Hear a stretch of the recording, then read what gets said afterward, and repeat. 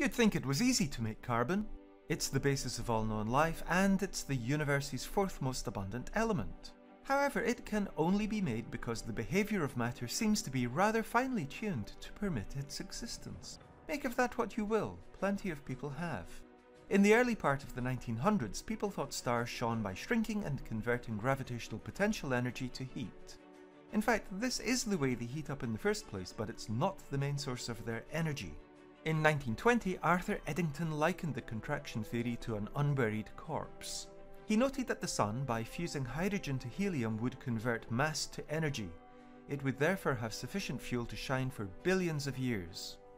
In 1939, Hans Bethe filled in the details of the proton-proton chain reaction explaining how the Sun gets energy by fusing hydrogen into helium. He also unveiled the CNO cycle, which explained how massive stars convert hydrogen to helium. Although CNO cycle relied on the existence of carbon, he had a problem. He couldn't find any reasonable way that elements heavier than helium could be made. Bethe investigated the possibility of making carbon by bringing together three helium nuclei, alpha particles. He found that the process would need temperatures of more than a billion Kelvin. This is pretty high, our Sun's core is about 16 million Kelvin. He assumed the coming together of three alpha particles was a non-resonance process. What do we mean by a resonance or non-resonance process? These concepts are crucial to carbon's existence. Think about the traditional Bohr model of a hydrogen atom with an electron behaving like a little planet orbiting a nucleus. The available orbits represent the energies an electron is allowed by the rules of quantum mechanics. We can draw these energy levels like this. In this hydrogen atom, the electron is in its lowest possible orbit, the lowest energy state, the ground state. If the electron picks up the right amount of energy from somewhere, it can move to a higher orbit, one of the possible excited states.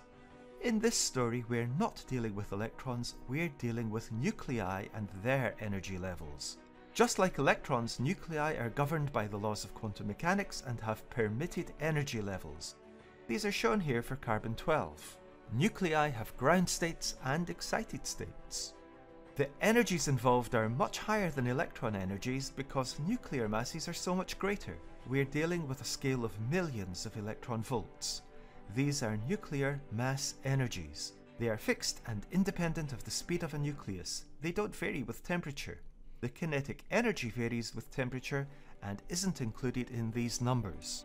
Now, back to our tale of how to fuse lighter nuclei to make carbon-12. Nuclei are all positively charged and repel one another electrostatically. For nuclear fusion to happen, we need to overcome the Coulomb barrier erected by this mutual repulsion.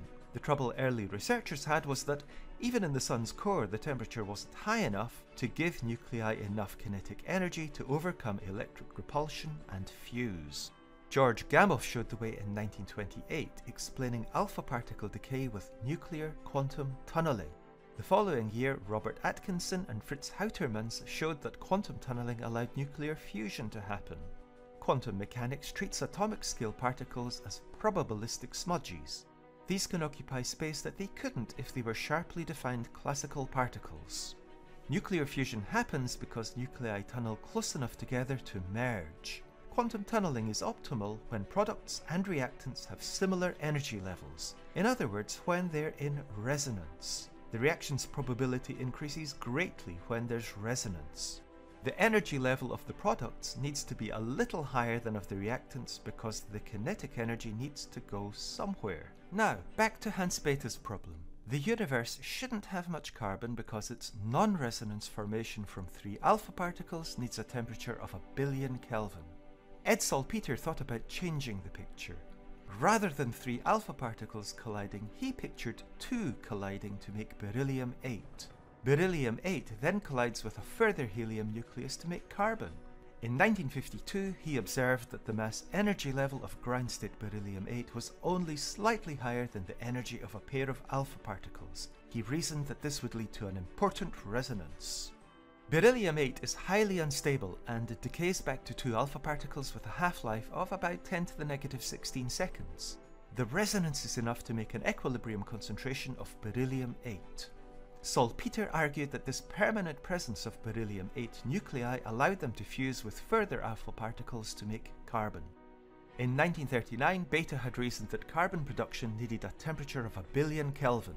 Salpeter's work reduced the temperature needed for carbon by a factor of 5 to 200 million Kelvin, a temperature achievable in the contracting core of a red giant.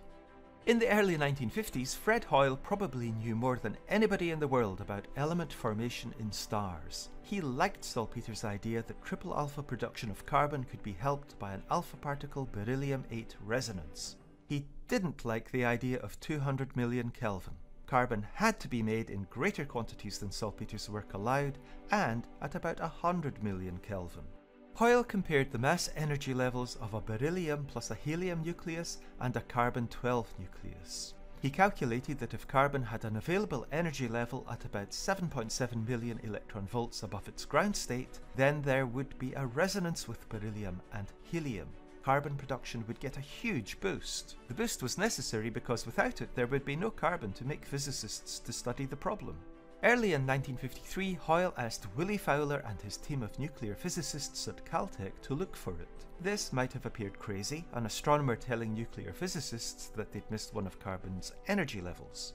Nevertheless, Fowler's team looked for the energy level and found it. It's this energy level that allows carbon to exist, and you and me with it. The Hoyle excited state of carbon is more like a loose bunch of three alpha particles than a fully merged ground state carbon nucleus. The great majority of excited Hoyle state carbons fall apart again into beryllium and helium. About 1 in 2400 Hoyle state carbons fully merge into carbon-12, emitting huge amounts of energy. Even today, the behaviour of the Hoyle state continues to intrigue researchers. Hoyle made another prediction. If an alpha particle adds to carbon, you get oxygen. If this fusion reaction was resonant, nearly all the carbon ever made would have ended up as oxygen. Hoyle said therefore that oxygen has no energy levels available for a resonance with carbon and helium. He's been proven correct in this too. Some scientists, including Hoyle, later argued that the triple alpha process has a deeper interpretation. The universe looks to be improbably fine-tuned. The narrow resonance bands without which there would be no beryllium-8 and carbon were evidence of this. They are so delicately arranged that there's little room for variation.